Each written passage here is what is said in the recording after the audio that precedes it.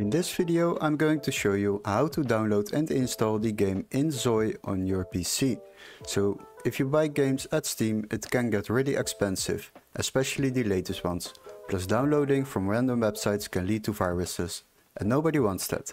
But don't worry, in this video I will show you how to find this game, download it and install it without overspending and keeping your PC safe. So the first step is open your Google browser and before we start I would like to ask you to subscribe to our channel and like the video. Once you have done that we need to locate this game on Steam first before we can proceed to another website. So go to Steam and go to the Steam website, search for the game inZOI and select it.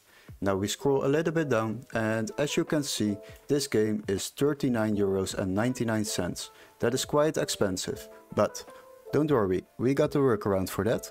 What you need to do is open the video description, there will be a link with find game here and you will be redirected to this website.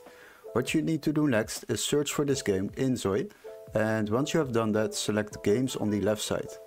Now sort by price lowest first and as you can see this game is much cheaper on this website.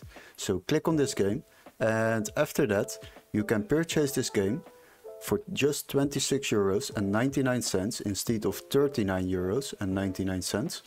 And once you have bought it, then you will receive a email confirmation with a Steam activation key to download this game through Steam, but much cheaper than the Steam store.